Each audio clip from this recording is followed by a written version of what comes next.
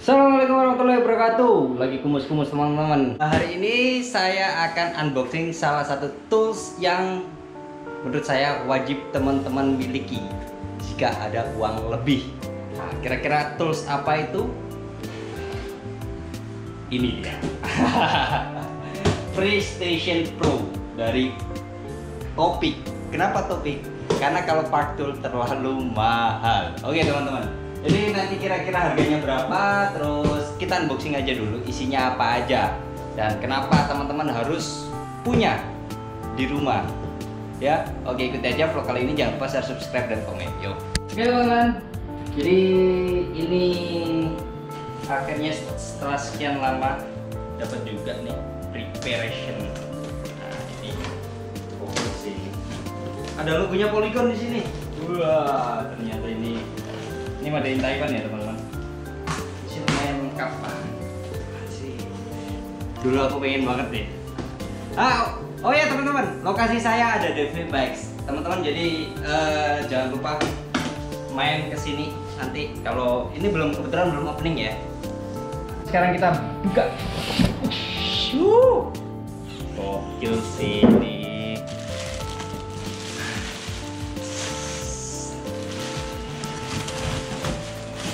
salah apa namanya? Uh, anjing. Ah ah ah ah ah ah ah. Lagi dulu kita taruh. Jadi ini saya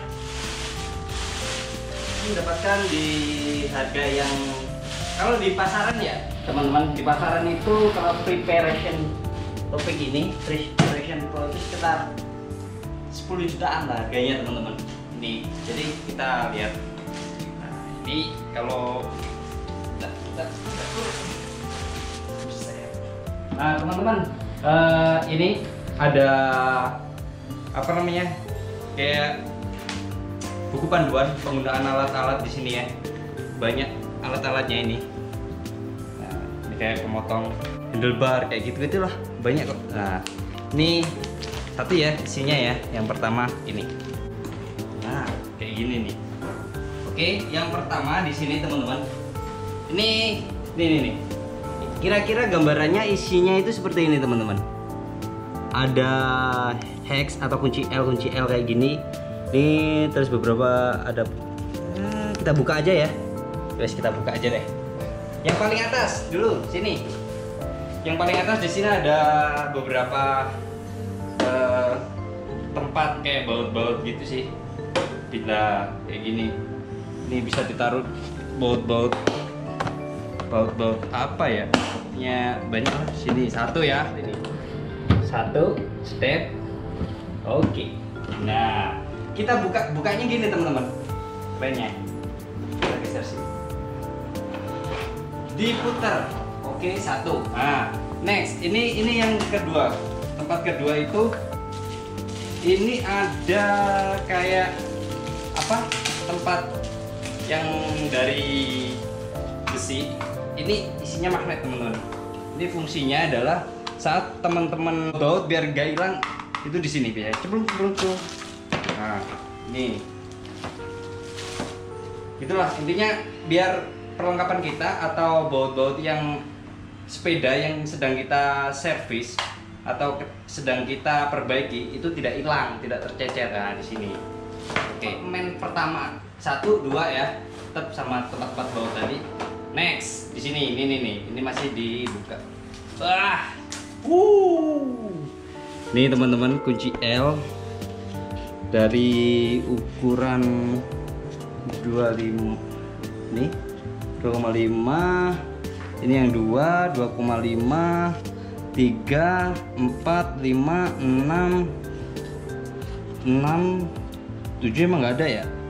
Nah di sini 6 juga ada 6 yang kayak gini dan 6 gini terus sama 8 10 nah ya kan? Next ya. Kompartemen selanjutnya itu isinya ini teman-teman. Nah geser. Kita buka geser sini mas. Oke, kita Deng deng lah. ini yang aku nggak tahu ini. Ini ada keterangannya. Ini tuh kayak kunci torsi gitu modelnya. Cuman dia manual. Eh, saya perlu belajar lagi sih kalau yang ini. Ini nggak ngerti cara pakainya pun hmm, belum ngerti teman-teman. Satu ada kunci L blimbing di sini. Ini kenapa kosong? Ini untuk shock pompa shock itu di sini teman-teman nah kita beli terpisah. Ini kosong ya posisinya ya yang untuk tempat kunci shock. Eh bukan. Eh, pompa shock ya di sini ya. Ada pencokel ban di sini ada tiga. Asik sih. Nah, ada ini kunci L. Ini untuk ngencengin ngencengin di itu sih apa namanya eh, rotor-rotor gitu. Nah ini. Ada pemotong rantai ini gokil sih ini Wih, ini ya. nah ini ya pemotong rantai ya teman-teman Terus ada ini itu fungsinya untuk ini. Ya, ini. Obeng. Iya, obeng plus ada yang gede ada yang kecil di sini. Ini untuk saat pemasangan rantai. Nyetel kenceng enggaknya rantai itu pakai ini nih. Ini enak, teman-teman. Ini bisa. Nah, saat nyetel loh, saat mau motong rantai, ini nih bisa sangat fungsi nih kemudian ada ini obeng juga minus ini ada kunci-kunci kunci 10 8 dan kunci kurung 7 nih ya nih apartemen yang kelima nih kita dapat kunci Inggris. Topik terus tang buaya ya istilahnya. Eh bukan deh pokoknya tang cucut lah. Jangan lupa lah guys. Teman-teman. Tang potong. Ada pembuka rantai topik. Pembuka rantai sama pemotong kabel teman-teman. Ini pemotong kabel. Ini yang paling saya suka. Nah ini masang kabel masang fungsinya ini pemotong kabel eh, terus ini untuk pasang end cap. Crik. kayak gitu fungsinya ini. Nah, terus ini ini fungsinya untuk mengencangkan eh, baut di chainring teman-teman. Ini ya pakai ini. Kalau ini itu aku lupa nanti. Aku lupa kalau ini untuk eh, style velg style velg ya ini ya style velg ini style velg juga yaudah kita geser langsung teman-teman oke Nah, next di sini ada apa? Uh, ini udah mulai kayak biar stabil ya, biar stabil nggak ngetril. Lo kan ngetril, ngetril ternyata. Nah, di, di sini ini ada kunci kayak gini nih. Aku nggak tahu namanya. Yang penting untuk kencengin lah. Enak ini, kokoh ini teman. Oke, kita geser. Gimana ya? Pokoknya itulah nanti kita cek ini untuk bongkar pedal ya teman-teman bongkar pedal gede ini enak biar lebih cepat terus ini ada pembuka sprocket ya. Rantai chain whip sprocket remover. Pembuka sprocket teman-teman. Next ada ini. Ini untuk benerin rotor. Rotor yang speleng atau oleng itu benerinnya pakai ini. Nanti dibengkeng begini. Tik. ini. Pakai ini ini ada apakah ini? Ini itu ah ini untuk benggang. Kalau kaliper disc brake itu nyempit gini loh. Kalau nggak sengaja kepencet remnya ke rem gitu. Nah ini fungsinya biar dibenggang. Ngekok. Nah, biar biar dia apa kembali normal posisinya. Ya soalnya kalau posisi ke rem kan nanti pas waktu dipasang bannya kan rotornya nggak bisa terpasang. Jadi dibenggang dulu nih. Nih kalipernya. Oke ini ya. Terus ada kunci BB di sini. Di kunci BB ya teman-teman. Kunci BB ada ini BB kecil ya teman-teman ini BB kecil untuk BB Dura S kayak gitu BB Dura S sama BB Ultegra sama XT, XTR kayak gitu gitu loh. Nah, ini adaptor sebenarnya. Jadi gini masangnya. Ini ya. Nah, kalau yang normal yang biasa pakai ini cukup. Nah, ini gini. Tuh. Terus next ada kunci ini untuk buka bongkar BB kotak. Ini ya teman-teman. Kalau ini untuk ngencengin sprocket. Nah, ini untuk bongkar crank arm kotak. Nah, crank arm ya, ini bongkar ya, untuk melepas teman-teman, untuk melepas ya. Nih alatnya. Jadi fungsinya itu pas waktu di kan gini nih dipasang dulu.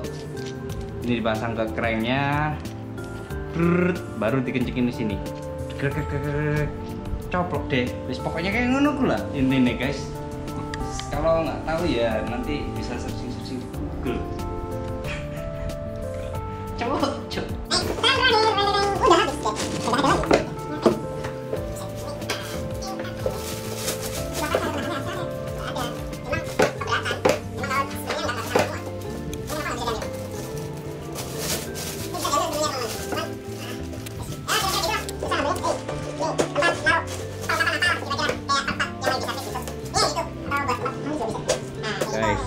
baca-baca ternyata aku baru bisa nih buka. Sorry ya, ini apa namanya?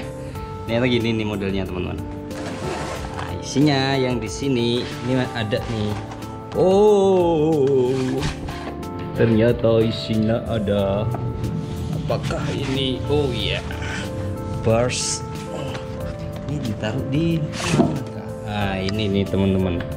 Ini ada untuk bersih-bersih ini pembersih pembersih ya kan? Ini kikir. Ada kikirnya juga teman-teman. Terus ada apa namanya? Eh, palu. Wah ini ada pemotong ini nih. Nah ini dia. Ini untuk motong-motong lah.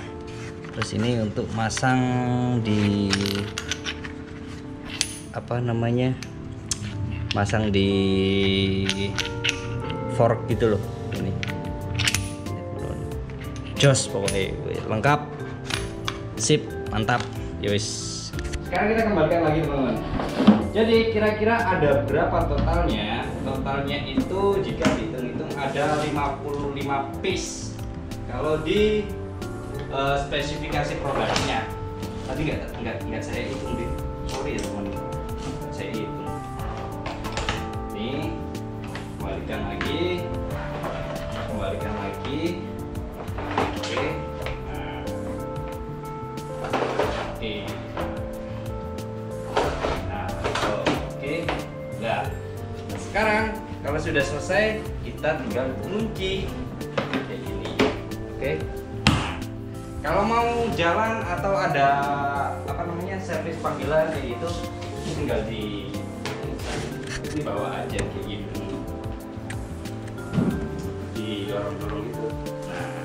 ini. Enaknya itu ini kalau preparation pro ini.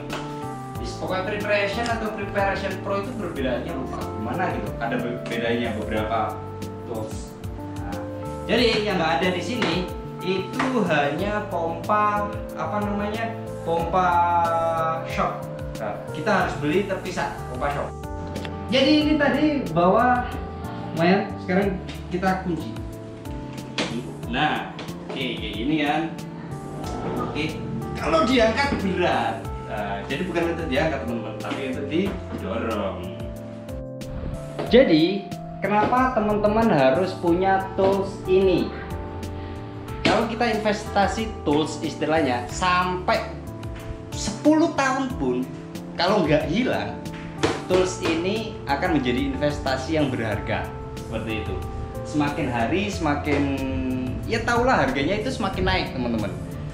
Nah secara fungsinya ini sangat bermanfaat. Misalkan untuk benerin sepedanya sendiri. Kalau nggak tahu ilmu membenarkan sepeda itu sebenarnya di YouTube itu sudah ada. Semuanya sudah ditampilkan. Tinggal bagaimana kita belajarnya sendiri kemudian aplikasi. Mau coba dulu kayak gitu. Kalau mau coba-coba nggak masalah karena sepedanya sendiri. Lah kalau punya tools kayak gini itu ya bisa bermanfaat. Kalau ada tetangga yang sepedanya rusak mungkin main ke rumah terus mas minta tolong dong benerin sepedaku ya. Pedalnya copot ya, ya kayak gitu. Jadi oh iya sini ada kita punya alatnya jadi. Oke teman-teman kira-kira tools ini uh, beberapa tools yang akan digunakan di V-Bikes teman-teman. Di bengkel V-Bikes. Ada dari topik ada dari beberapa part tool juga ada terus ya banyak lagi sih. Nanti silakan main-main ya. Kapan ya akan saya buatkan uh, tentang V-Bike sendiri? Bengkel V-Bikes. Terus ada apa aja? Terus kenapa teman-teman harus ke sini? Ya wes kira-kira gitu aja vlog kali ini. Terima kasih sudah menonton dari awal sampai akhir. Maaf lagi kumus-kumus karena tadi barusan banget sampai dari Bogor. Hujan. Sekarang hari Jumat gendeng kita. Sampai Bekasi hutan guys. Yos gitu aja pas ada yang nonton. Oke, terima kasih teman-teman yang sudah bantu di sana. Ada Om One sama Bang Uci. Artis mereka teman-teman. Assalamualaikum warahmatullahi wabarakatuh.